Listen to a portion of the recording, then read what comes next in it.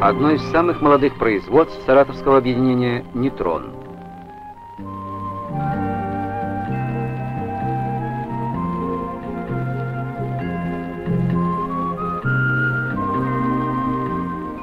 Здесь вырабатывают уксусную кислоту и уксусный ангидрид.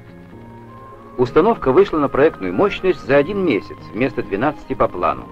И по итогам 1975 года коллектив цеха получил переходящее красное знамя. Многие работники производства удостоены правительственных наград.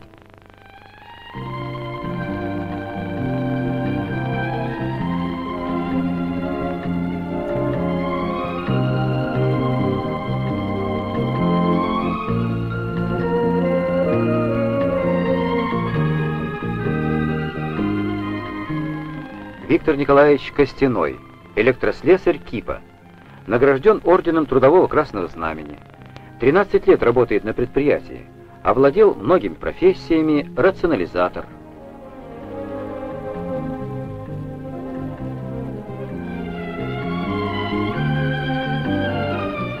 Пожалуй, киповцам принадлежит главная заслуга в том, что продукция цеха уже аттестована на государственный знак качества – на самом деле только приборы, работающие точно, могут проконтролировать скрытые от глаз химические процессы. В первом квартале 76-го цех снова стал победителем в социалистическом соревновании.